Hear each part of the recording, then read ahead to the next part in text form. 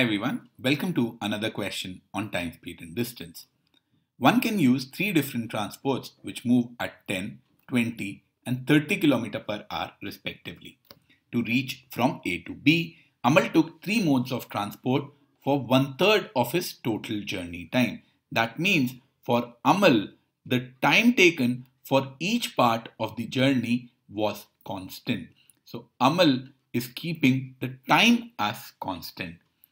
While Bimal took each mode of transport for one third of the total distance, which means for Bimal, the distance that he has for the three types of journeys is constant. Then the percentage by which Bimal's time exceeds Amal's travel time is nearest to what?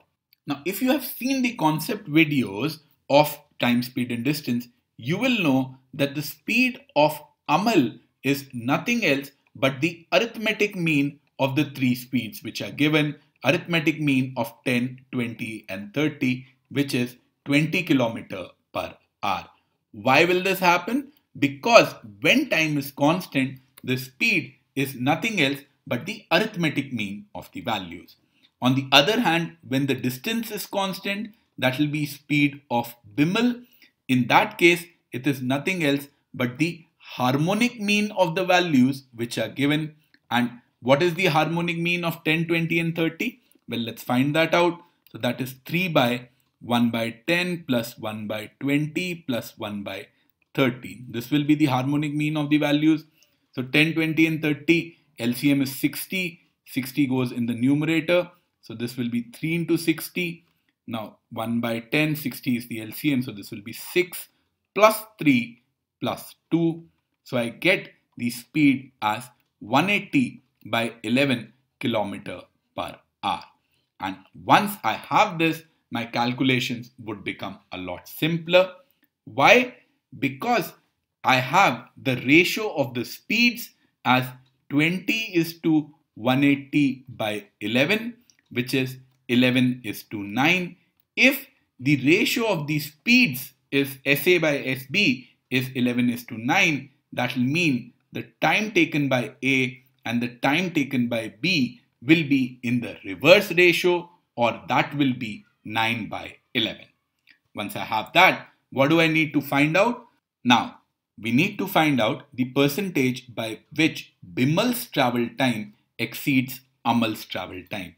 So if Amal takes 9 hours and Bimal takes 11 hours, Bimal takes 2 hours extra and in percentage terms, he takes this 2 hours extra over a base of 9 hours.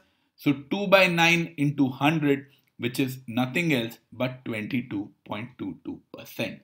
See, you could calculate the answer very quickly and get to option 4 because of this concept. This is a concept that you need to know. It's discussed in detail in the concept videos.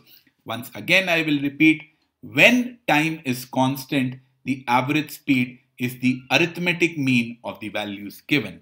When the distance in each part of the journey is constant, the average speed, which is the speed for Bimal here, is the harmonic mean of the values given.